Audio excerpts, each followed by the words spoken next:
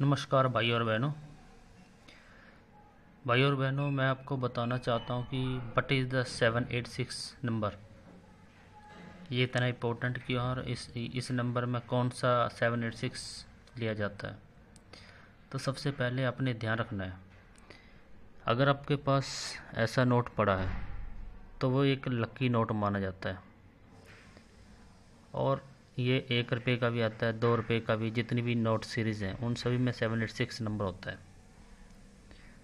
अगर आपके पास ऐसा नंबर पड़ा है तो आप उसको संभाल कर रखें, क्योंकि वो मार्केट में सही प्राइस पर बिक जाता है। ज़्यादातर लोग उसको अपने शौक के लिए रखते हैं। तो मैं आपको बता दूँ कि सेवन एट सिक्स कौन सा नंबर लेना नोट होता है। कि जैसे आप ये देख रहे हैं लास्ट में सेवन एट सिक्स होना चाहिए। ना कि पहले सेवन एट सिक्स और बाद में कुछ और सीरीज़ है। तो उन नोटों को सेवन एट सिक्स नहीं कहा जाता, क्योंकि seven eight six only last number ले आता है। ये पाँच रुपये का भी होता है, दो रुपये का भी होता है, दस रुपये का भी होता है। हर सीरीज़ में नोट होता है। तो ऐसे हम फाइंड करते हैं कि seven what is the seven eight six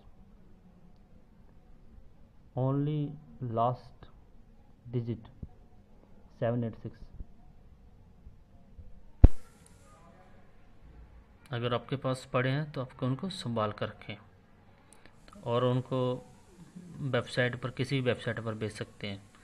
Google में सर्च करोगे, sell old coin, sell old note, seven eight six number. तो जैसे सर्च करोगे तो वैसे रिलेटेड वेबसाइट आ जाती है। तो उनको ऐसे बेचा जाता है। Thanks.